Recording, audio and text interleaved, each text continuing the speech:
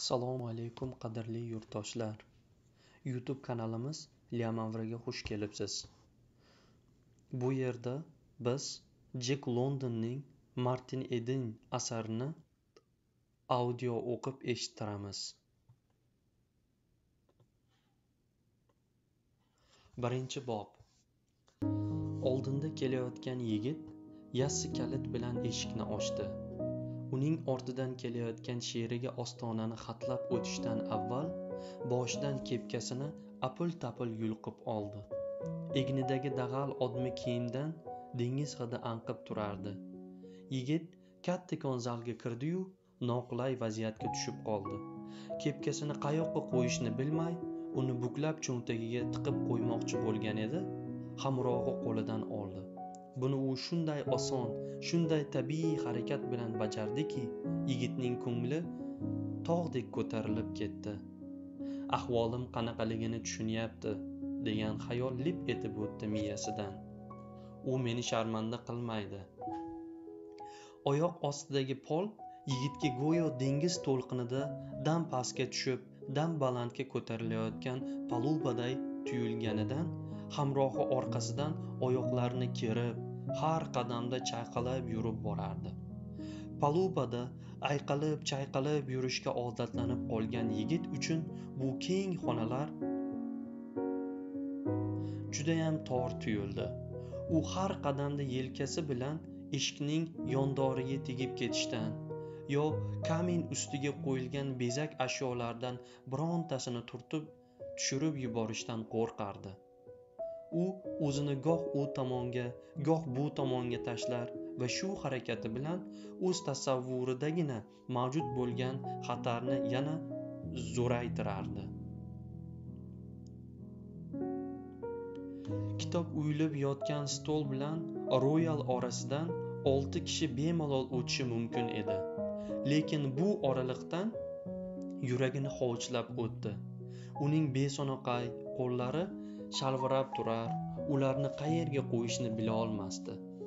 Birdan o'zini stol ustida yotgan kitoblariga tegib ketayotganday his qilib xuddi hurkkan otdek orqaga tisarildi da sal bo'lmasa royal oldidagi kursini ag'darib yuborayozdi shunda u shahdam odim otib borayotgan hamrohiga qaradiyu umrida birinchi marta o'zining qadam tashlashi beso'noqay va boshqalarnikiga o'xshamasligini fahmladi. Hijolatdan bir zumga cho'g' bo'lib yondi. Manglayida ter tomchilari paydo bo'ldi va to'xtab dastro'moli bilan oftobda qoraygan yuzini artdi. Artur azizim bir, pas sabr qilsangiz dedi u o'zining hijolat bo'lganini yashirish uchun hazilomuz ohangda. Dabdurustdan bunchalik dabdaba men uchun judayam ortiqcha bo'lib ketdi. Nafasimni rostlab olay. O'zingiz bilardingiz bu yerga kelishni istamovdim undan keyin oila a'zolaringizniyam meni ko'rishga ko'zlari uchib turgan bo'lmasa kerak. Parvo qilmang dedi hamrohi unga taskin berib. Siz hech tortinmang biz sodda odamlarmiz. Ehe menga xat kelganga o'xshaydi. Artur stol stolga yaqin bordi. Konvertni ochib xatni o'qiy boshladi. Bu bilan mehmonning o'ziga kelib olishiga imkon tug'dirgan edi. Mehmon ham buni tushunib undan minnatdor bo'ldi. U tabiatan sezgir va odamshavanda edi. Shuning uchun parishonxotir ko'rinsa ham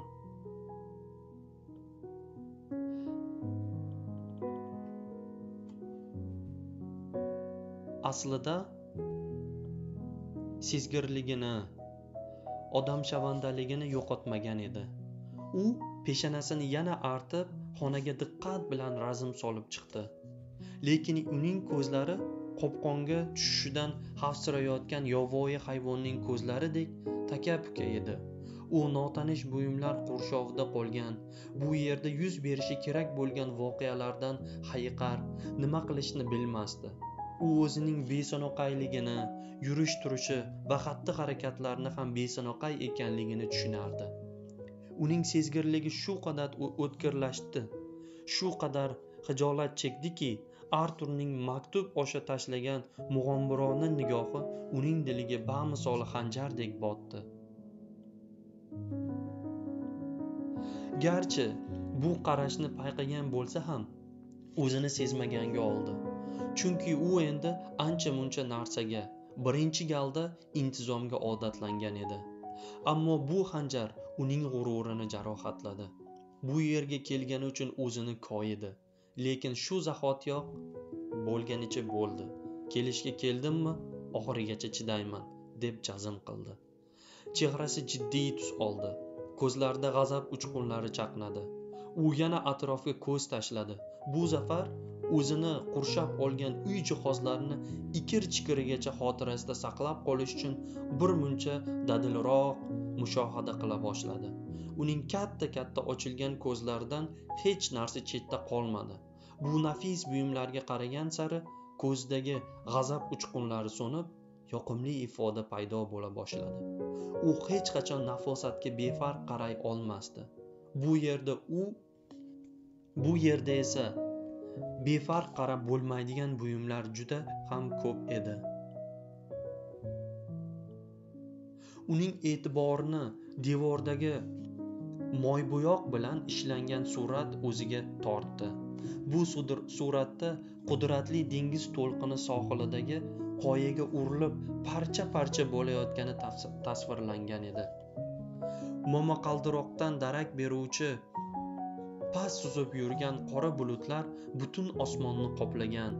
Quturgan to'lqinlar sathida esa botib borayotgan quyosh shu'lasi bilan yoritilgan kichkinagina shxuna suzib borar. U bir tomonga chunonam og'ib ketgan ediki butun palubasi ko'zga yaqqol tashlanib turardi. Bu go'zal manzara edi. Go'zallik esa uni hamma vaqt o'ziga rom qilardi. U o'zining beso'naqay qadam tashlashini unutib surat yoniga yaqin keldi.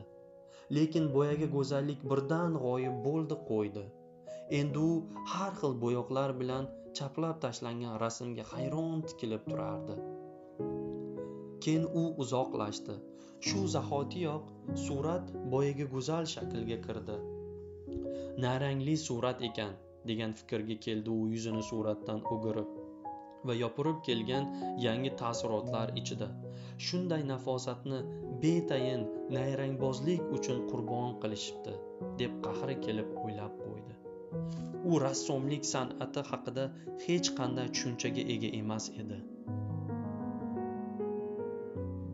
Shu paytgacha u faqat xromolitografiyani bilardi. Bunday suratlar uzoqdan ham yaqindan ham bir xilda ko'rinaverardi. Rost. Do'kon vitrinalarida bo'yoq bilan ishlangan rasmlarni ham ko'rgan lekin vitrina oynasi ularni yaqindan ko'rishga imkon bermasdi. U xat o'qiyotgan do'stiga o'girilib qaradiyu stol ustida yotgan kitoblarga ko'zi tushdi. Uning ko'zlari xuddi ovqat ko'rib qolgan och odamnikiday chaqnab ketdi. Beixtiyor stol tomon yurdi va hayajon ichida kitoblarni birma bir ko'zdan kechira boshladi.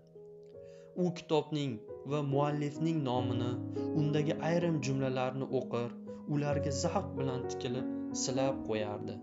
Birdan kitoblar orasida o'zi yaqinda o'qigan kitobni ko'rib qoldi. Lekin shu kitobdan boshqa hamma kitoblar hamda ularning mualliflari unga tamomila notanish edilar. Uning qo'liga suinbernning kitobi tushib qolgan edi. U o'zining qayerdaligini ham unutib qo'yib kitobni o'qiy boshladi. Yuzi cho'g'dek qizarib ketdi. U muallifning nomini bilish maqsadida ikki marta barmog'ini o'qiyotgan sahifaga qo'yib kitobni yopdi. Suinbern. Bu nomni eslab qoladi. Suinbern deganlari aftidan mushohadasi o'tkir odam bo'lsa kerak.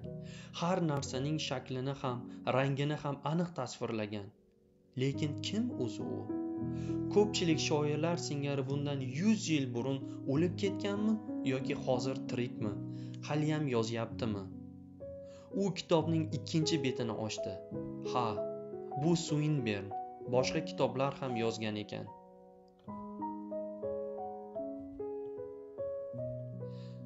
Yaxshi.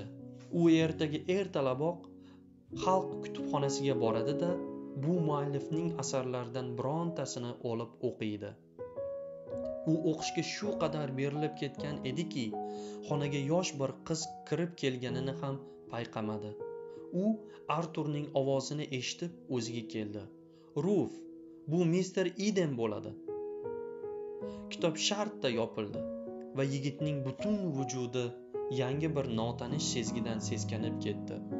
U xonaga qiz kirib kelganidan emas balki qizning akasi aytgan gapdan shu holatga tushgan edi. Bu muskuldor gavda haddan tashqari hassos edi. Tashqi muhitning sezilar sezilmas ta'siri ostida uning tuyg'ulari va tafakkuri xuddi alangadek lop etib yonib ketardi. U benihoya hassos va nazokatli qalb egasi edi. Uning otashin xayoli esa mutassil ishlab narsa buyumlar orasidagi munosabatlarni ularning bir biridan farqi va o'xshashliklarini belgilab turardi. Uni mister iden degan so'z seskanib ketishga majbur etgan edi. Umr bo'yi iden martin iden yoxud soddagina qilib martin deb yuritilgan bu yigitni to'satdan mister deb aytishdi. Shu so'zning o'zi ham chakka emas deb qo'ydi u o'ziga o'zi. Uning tushunchasi birdan ulkan fotokameraga aylandi va ko'z o'ngida o'ziga tanish bo'lgan lavhalar o'txonalar truyumalar doklar pristanlar qamoqxonalar va traktorlar kasalxonalar va xaroba uylar manzaralari bir birini quvalashib o'ta boshladi. Birin ketin xayolida jonlangan bu joylarda u shunday muomalaga ko'nikib qolgan edi. Lekin xuddi shu payt orqaga o'girildi-yu qizga ko'zi tushdi. Uning xotirasida g'ujg'on o'ynab yotgan palapartish lavhalar birdaniga g'oyib bo'ldi. Ro'parasida porlab turgan moviy ko'zlari shahlo oltin sochlari qalin rangpar nazokatli bir jonon turardi. Yigit qizning qanaqa kiyimda ekanligini payqamadi ammo uning libosi ham o'zi singari g'oyat ajib ekanligiga ishonardi. U xayolan qizni nozik bandli och sariq oltin rang gulga o'xshatdi. Yo'q aniqrog'i u ilohiy ruh. Pari ma'buda edi. Negaki bunday oliyjanob nafosat yer yer yuzida uchramaydi. Yoxud kitoblarda chindanam to'g'ri yozilganmikin? Jamiyatning o'zga kibor doiralarida shu qizga o'xshagan go'zallar ko'pmikin? Anavi suinbern shu qizni tarannum etsa qoyil qilardida. Ehtimol suinbern anavi stolda yotgan kitobidagi izoldani tasvir etayotganda aynan unga o'xshagan bir go'zalni ko'z oldiga keltirgandir.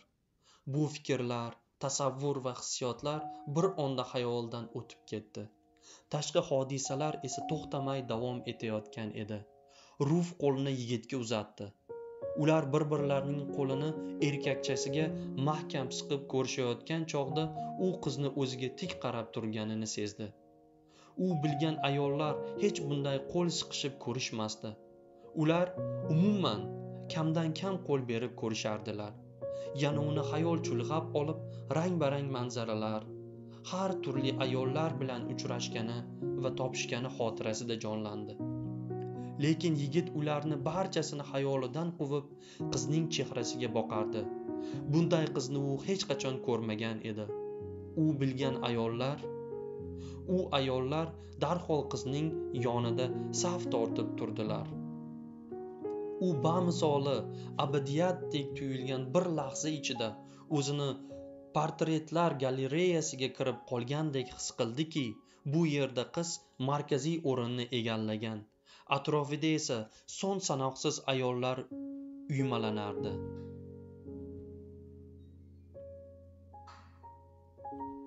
darhol ularning har birini baholab qiz bilan taqqoslash lozim edi. Uning ko'z oldida fabrikada ishlovchi ozg'in va rangi bo'zargan ayollar va shahar ko'chalarida uchratgan sho'x qizlar ulkan chorvachilik rancholarida ishlovchi batrak ayollar va og'zidan sigaretasi tushmaydigan meksikalik bug'doyrang ayollar namoyon bo'ldi. So'ng oyoqlariga yog'och kavush kiygan quvurchoq sifat yapon ayollari pildirab o'tdi.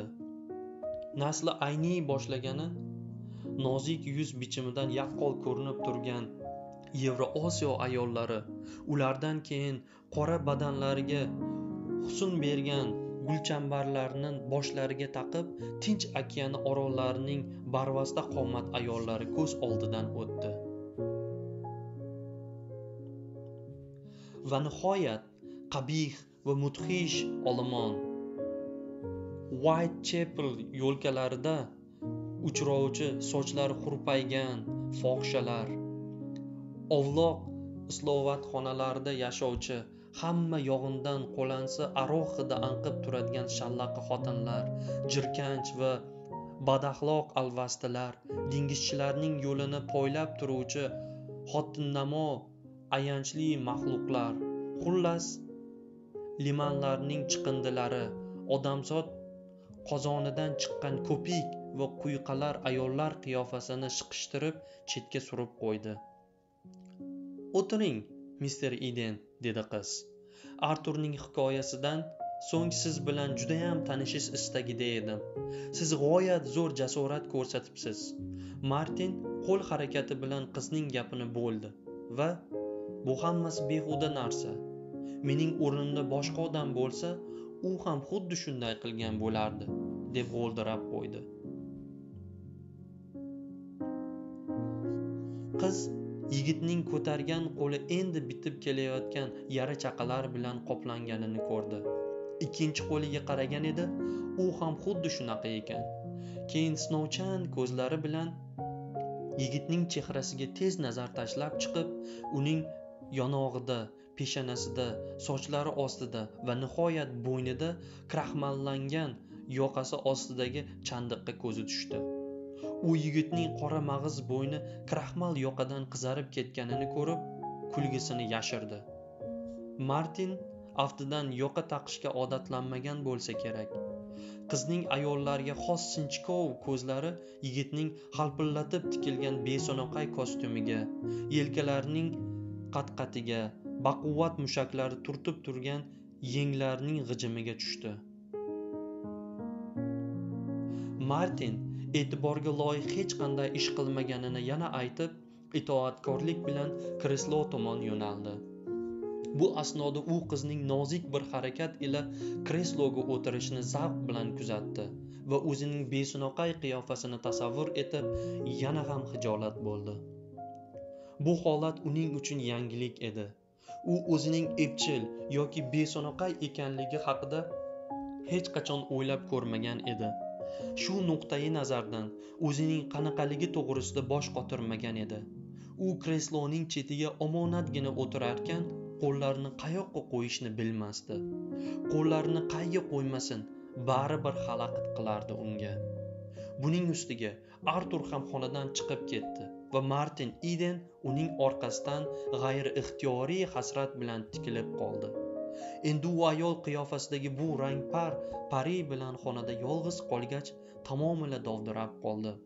Do'stona suhbatni erkin davom ettirish uchun kishiga dalda beruvchi biron ichkilik zarur ediyu ammo afsuski bu yerda jin so'rash uchun na peshtaxta yoki pivoga yuborish uchun na yugurdak bola bor edi. Bo'yningizda chandiq bor ekan. Mister iden dedi qiz. Qayerda bo'lgan? Balki u bironta g'aroyib sarguzasht oqibatidir. Bir meksikalik pichoq urgan edi miss deb javob qildi u lablarini yalab va xirqiroq ovozini tozalash uchun yo'talib olib. Muslashgandik. Keyin qo'lidan pichoqni tortib olganimda u burnimni tishlab olmoqchi bo'luvdi. Martin bu so'zlarni soddagina qilib aytdi. Ammo uning ko'z oldida salina krustdagi yulduzlar charaqlagan dim kecha manzarasi oppoq sohil chizig'i qand ortilgan paroxodlarning chiroqlari sal nariroqdan eshitilayotgan sarxush matroslarning ovozlari meksikalik yigitning g'azabdan burishgan basharasi yulduzlar yorug'ida ko'z ko'zining vahshiyona chaqnashi. Bo'yniga sanchilgan po'latning sovuqligi tizillab oqayotgan qon olomon va shovqin suron bir biriga chirmashib qum ustida u yoqdan bu yoqqa dumalayotgan ikki gavda va qayerdandir uzoqdan eshitilayotgan gitaraning ohanrabo sadosi jonlandi. Bu voqea shunday sodir bo'lgandi. Lekin martin buni eslagan zahoti seskanib ketdi va anavi devorda osilib turgan rasmni chizgan rassom bu hodisani ham rango rang bo'yoqlar bilan tasvirlay olarmidikin deb o'yladi. Oq sohil yulduzlar yuk tashuvchi paroxodlarning chiroqlari bular hammasi suratda juda chiroyli chiqsa kerak. Suratning o'rtasida qum ustida mushtlashayotganlarni o'rab olgan qora olomon. Rasmda pichoqni ham tasvirlasa bo'lardi. Negaki yulduzlar shu'lasida po'lat juda chiroyli yaraqlaydi degan fikrga keldi u. Lekin bular haqida bir og'iz ham gapirmadi. Ha u burnimni tishlab olmoqchi bo'lgan edi deb takrorladi xolos. O deb yubordi qiz. Martin uning ovozida ham chehrasida ham sarosimalik alomatini his qildi. Martinning o'zi ham dovdirab qoldi. Uning oftobda qoraygan yuzlariga rang yugurdi. Qon quyildi lekin uning nazarida go'yo bir soatdan beri lang'illab yonib turgan o'choq oldida o'tirganidan yuzlari shunday lovullab yonayotganga o'xshab tuyuldi. Pichoqbozlik singari xunuk narsalar haqida kibor xonimga hikoya qilish munosibmikin? Kitoblarda yozilishicha bunday qizlar davrasida hech qachon bunaqa mavzuda suhbat qilmasdilar. Ehtimol ular bunday narsalardan bexabardirlar ham. Endigina jonlanib kelayotgan suhbat xiyolgina uzilib qoldi. Shunda ruf yana savol berdi. Bu safar savol uning yonog'idagi chandiq haqida edi. Qiz yigitga yaqin bo'lgan narsalar to'g'risida gaplashishga urinayotgan edi. Buni sezgan martin darhol qizning savoliga javob berdiyu suhbatni qizga yaqin bo'lgan mavzuga burishga qaror qildi. Shunaqa bir voqea bo'lgan edi dedi u qo'li bilan yonog'ini silarkan. Bir kuni kechasi kuchli to'lqin paytida grot hamma lash lushlari bilan dabdala bo'lib ketdi. Tros simdan edi. U ilonday to'lg'anib duch kelgan duch kelganni qamchilay boshladi. Vaqtadagilarning hammasi uni ushlashga otildi. Men ham unga tashlandim. Tutib bog'ladim. O'shanda yuzimga sharaqlab kelib tekkan edi. O dedi qiz yana. Bu safar birmuncha hamdardlik bilan lekin baribir u grot tros so'zlarining ma'nosiga aslo tushunmas edi. Haligi svaynber deb martin o'z rejasini amalga oshirishga kirishdiyu ammo bu so'zni yanglish talaffuz etdi. Kim? Svaynber deb takrorladi yigit shoir. Swinbern deb qiz uning so'zini tuzatdi. Ha o'sha deb gapira boshladi martin yana cho'g'dek qizarib. O'lganiga ancha bo'lganmi? Uning o'lganini eshitgan emasman. Qiz unga ajablanib boqdi. Siz u bilan qayerda tanishgansiz? E men uni hecham ko'rmaganman deb javob qildi yigit. Siz kirmasingizdan oldin anavi stolda yotgan kitobni ochib bir ikkita she'rni o'qigandim. Uning she'rlari sizga yoqadimi? Qiz martinni qiziqtirgan narsa to'g'risida erkin va ravon gapira ketdi. Yigit o'zini xiyla durust his eta boshladi va hatto kresloga bahzur o'tirib oldi. Shunga qaramay go'yo kreslo tagidan sirg'alib chiqib ketib yerga tap etib o'tirib qoladiganday uning ikki yondoridan mahkam ushlab o'tirardi. U qizga tanish bo'lgan mavzuni o'rtaga tashlashga muyassar bo'ldi. Endi esa qizning bu jajji go'zal boshida nechog'li ko'p aql borligidan taajjublanib va ayni vaqtda uning zarif latofatidan zavqlanib gaplariga diqqat bilan quloq solardi. U qizning dudoqlaridan osongina otilib chiqayotgan so'zlarning ma'nosini anglashga harakat qilsa ham bu so'zlar uni taajjublantirsa ham eshitganlarining barini anglashga tirishardi. Ruf aytgan gaplarning bari uning miyasini ishlashga majbur etardi. Aqliy hayot bu yoqda ekan deb o'ylardi u.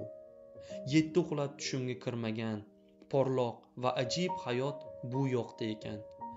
Martin atrofini o'rab olgan barcha buyumlarni mutlaqo unutib haris ko'zlarini qizga tikdi.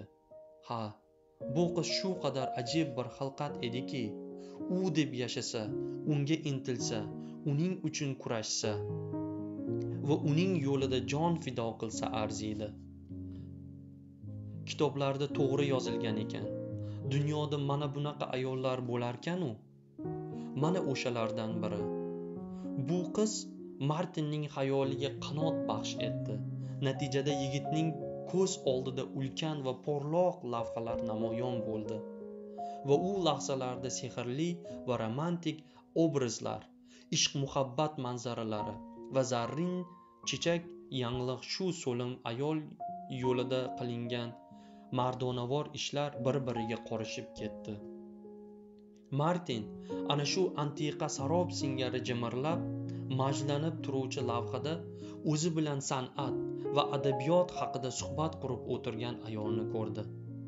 Yigit qizga tikilib o'tirib uning gaplarini tinglarkan o'z ko'zlariga qizga tikilgan o'tkir ko'zlarida erkak kishi tabiati aks etib turganini payqamasdi.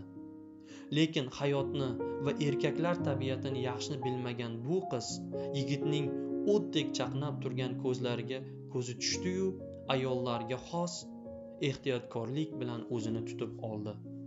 Shu paytgacha bironta ham erkak unga bu tarzda tikilmagan edi. Shuning uchun hozir qiz uyalib ketdi. Qiz suhbat kalavasining uchini yo'qotib duduqlandi va gapdan to'xtadi. U bu odamdan qo'rqardi va ayni vaqtda uning bu tarzda tikilishi negadir qizga xush yoqardi. Tarbiya bilan singdirilgan odatlar qizni bu sehrli makrli jozibaning tahlika va qudratidan ogohlantirardi. Biroq savqi tabiiy sezgisi uning qonini jo'sh urdirar va undan o'zining kim va nima ekanligini unutishni talab qilar.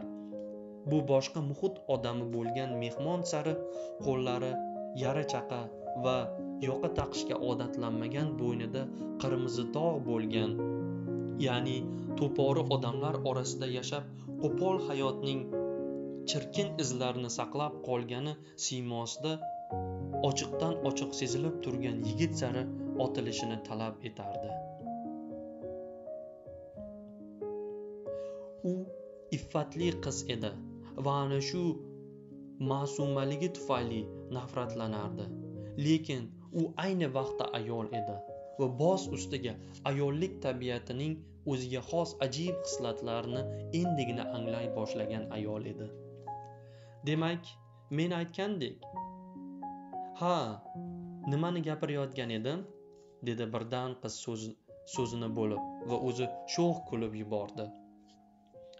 Siz suinbern shuning uchun ham buyuk shoir bo'la olmadiki deyotgandingiz ha xuddi shu jumlada to'xtagan edingiz miss shu gapni aytdiyu go'yo to'satdan qorni ochiqib ketgandek bo'ldi.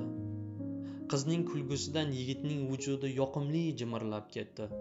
Xuddi kumushdek deb o'yladi u. Xuddi jajji kumush qo'ng'iroqchalaridek jarangli ekan kulgisi. Ayni shu damda va faqat bir zumgagina yigitning tasavvurida uzoq o'lka namoyon bo'ldi. Martin u yerda pushturang gulga burkangan olcha daraxti ostida papiros chekib o'tirar va poxol sandal kiygan qavmlarni ibodatga chaqiruvchi mezanali budda ibodatxonasining qo'ng'iroqchalari sadosiga quloq solardi. Ha ha minnatdorman sizdan deb javob berdi qiz. Suinbern shuning uchun ham buyuk shoir bo'la olmadiki ochig'i u ba'zida xiyla qo'pol yozadi. Uning o'qishga arzimaydigan she'rlari ham bor.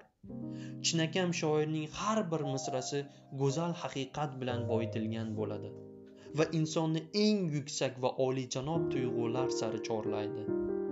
Buyuk shoirning asaridan bir misrani ham olib tashlab bo'lmaydi. Unday qilinsa jahon ko'p narsani yo'qotgan bo'lur edi. Mana bu yerda o'qiganlarim taraddudlanib gapira boshladi yigit. Judayam yaxshi she'rga o'xshadi. Mening hayolimgayam kelgani yo'q edi uning bunaqa bunaqa betayinligi. Ehtimol uning boshqa kitoblari shunaqadir.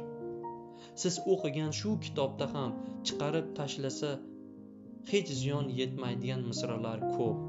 Dedi qiz hech e'tirozga yo'l qo'ymaydigan qat'iy ohangda. Aftidan men u misralarni uchratmagan bo'lsam kerak dedi martin. Men o'qigan she'rlar juda yaxshi yozilgan xuddi quyosh yoki projektordek dilingni yoritadi. Menga shunday tuyuldi miss balki men she'rni hech vaqoga tushunmasman a u o'zining poyma poy gapirayotganini noiloj e'tirof etarkan birdan sukutga toldi.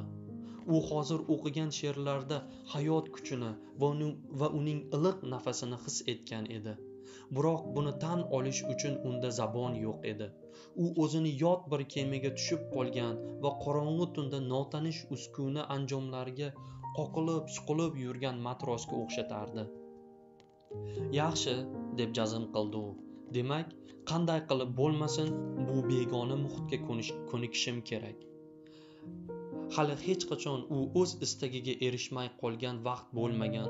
Hozir esa u o'z tuyg'u va fikrlarini ruf tushunadigan qilib ifoda etishni astoydil xohlardi. Qiz uning ko'z oldidagi ufni to'sib qo'ygan edi. Mana masalan longfeldinni olaylik deb gap boshladi qiz. Ha ha uni o'qiganman deb martin shartta qizning so'zini bo'ldi.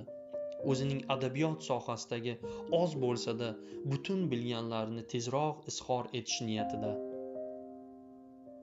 Qiz ham martinning unchalik omi emasligini bilib qo'ysin. Men uning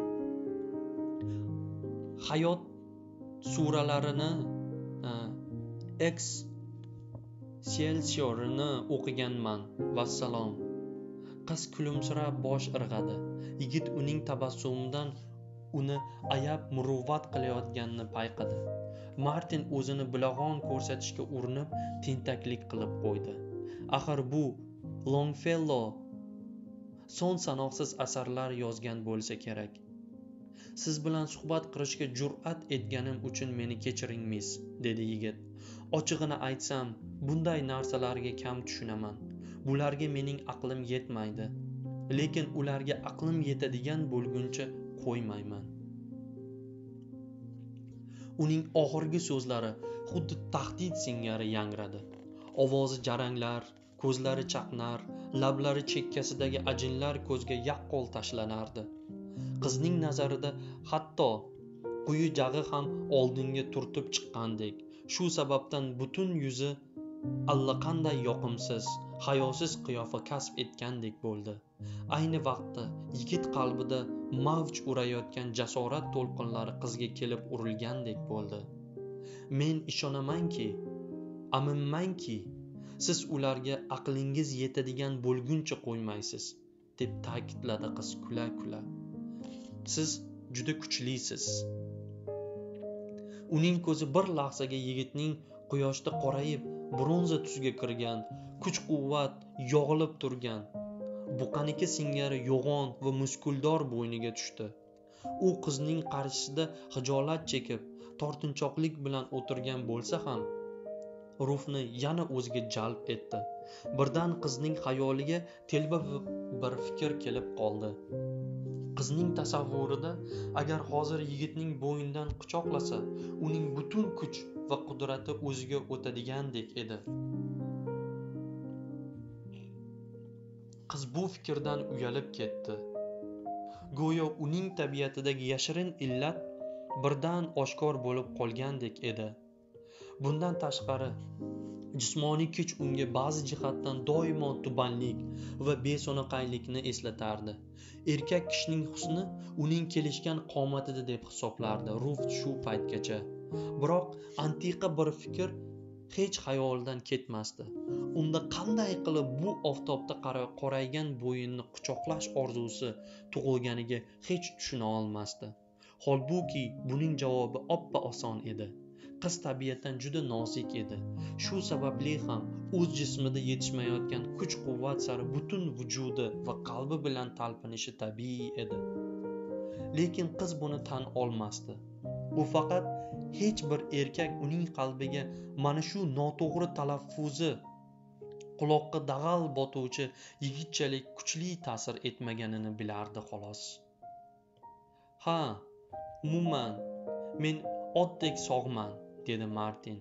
Lozim bo'lsa zanglagan temirniyam hazm qilib yuboraman. Lekin mana hozir go'yo hech nimani hazm qila olmayotganga o'xshayman.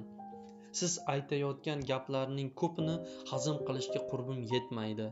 Bilasizmi hech qachon meni bunday narsalarga o'rgatishmagan. Men kitoblarni she'rlarni yaxshi ko'raman vaqt topilgan paytlarda o'qib turaman. Lekin u kitoblar haqida men hech qachon sizdek mulohaza yurita olmayman. Shuning uchun ham ular haqida gapirishga qiynalaman. Men misoli notanish dengizda xaritasiz kompassiz suzib ketayotgan dengizchiga o'xshayman. Holbuki men bu masalalarning ma'nosiga tushunishni istardim. Balki siz menga yordamlasharsiz. O'zingiz qayoqdan bilasiz shuncha ko'p narsani?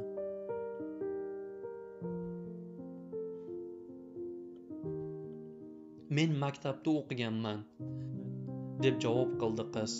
Bolaligimda men ham maktabga borganman deb e'tiroz bildirdi yigit. To'g'ri lekin men o'rta maktabni bitirganman. Keyin universitetga qatnaganman leksiyalar eshitganman. Siz universitetda o'qiganmisiz? deb martin oshkora taajjub bilan takror so'radi. Shu zahotiyoq ular bir biridan million mil masofaga uzoqlashib ketdi. Men hozir ham o'sha yerda o'qiyman. Men ingliz filologiyasidan maxsus kurs tinglayman. Martin filologiya nimaligini bilmasdi. Shunga ko'ra o'z nodonligini tan olib so'radi. Universitetga kirish uchun qancha vaqt o'qisam bo'ladi? Qiz uning ilmiga intilishini ma'qullab dalda bermoqchi bo'ldi. Bu sizning ilgari qancha o'qiganingizga bog'liq. Siz o'rta maktabda hech o'qiganmisiz? Ha albatta o'qimagansiz. Lekin boshlang'ich maktabni bitirgandirsiz? Bitirishimga atigi ikki yil qolganda tashlab ketganman dedi martin. Lekin hamisha mukofot olib o'qirdim. U maqtanchoqlik qilgani uchun shu zahotiyoq o'zini koyib kresloning bandlarini shunday mahkam siqdiki barmoqlari uyushib qoldi. Ayni vaqtda u xonaga bir xonimning kirib kelganini ko'rdi. Qiz dik etib o'rnidan turib o'sha ayolga peshvoz yurdi. Ular o'pishib ko'rishdilar va bir birlarini quchoqlagancha martin tomon kela boshladilar. Onasi bo'lsa kerak deb o'yladi yigit. Bu baland bo'yli malla rang sochli sarf qomat ulug'vor va go'zal ayol shu badavlat xonadonning bekasiga munosib libos kiygan edi. Xonimning egnidagi ko'ylakning nafis bichimi kishini rom qilardi. Xonimning butun siymosi martin idenga u sahnada ko'rgan ayollarni eslatardi. Keyin u xuddi shunday basavlat va bashang xonimlarni london teatrlarining e, vestibyullarida ko'rganini esladi. Unday chog'larda martin to polismen ko'chaga yomg'irga quvib chiqarmaguncha ulardan ko'zlarini uzmay tomosha qilib turardi. Shundan keyin yokogamaning grand oteli xayolida jonlandi. U yerda ham martin bu singari xonimlarni uzoqdan tomosha qilar edi. Shu zahotiyoq yokogama shahrining va limanning yuzlab manzaralari martinning ko'z oldidan lip lip o'ta boshladi. Lekin u xotira kaleidoskopini yopishga va hozirgi muhitga e'tibor berishga urindi. U xonimga o'zini tanishish tanitish maqsadida o'rnidan turishi kerakligini payqadi va shimining tizzalari beso'naqay pufak bo'lib turganini his qilib zo'r bazo'r o'rnidan turdi. Qo'llari beixtiyor beixtiyor shalvirab yoniga tushdi. Hozir sinovdan o'tajagini eslashi bilan chehrasi tumtayib ketdi. Birinchi bob tugadi. E'tiboringiz uchun kattakon rahmat.